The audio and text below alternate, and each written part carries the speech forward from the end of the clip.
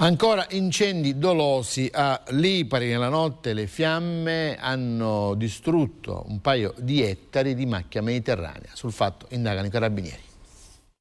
Una nuova notte di fuoco a Lipari, un incendio, l'ennesimo in pochi giorni, è divampato nella località di Quattropani con le fiamme che si sono estese dalla zona di Chiesa Vecchia a Calvano, impegnando per quasi sette ore le squadre dei vigili del fuoco, la forestale, i carabinieri e tanti volontari. Il fronte del fuoco si è esteso per quasi due ettari di macchia mediterranea, interessando anche alcuni alberi secolari di ulivo. Anche stavolta la pista privilegiata dai carabinieri che stanno conducendo le indagini è quella dell'incendio doloso. Già due giorni fa, infatti, la stessa stessa zona di Quattro Pani, oltre che di Castellaro, Madoro Monte Sant'Angelo e Varesana, erano state interessate da fiamme altissime che alimentate dal vento si erano spinte sino a lambire alcune abitazioni vicine. In quell'occasione è stata tanta la paura tra gli abitanti ed i turisti ed i vigili del fuoco hanno impiegato ore per lo spegnimento. Il sospetto anche in quell'occasione è che l'incendio sia stato doloso e per questi carabinieri stanno lavorando per capire se la matrice possa essere la stessa. Quel che è certo in questo momento è che in appena qualche giorno la borgata di Quattro Pani a Lipari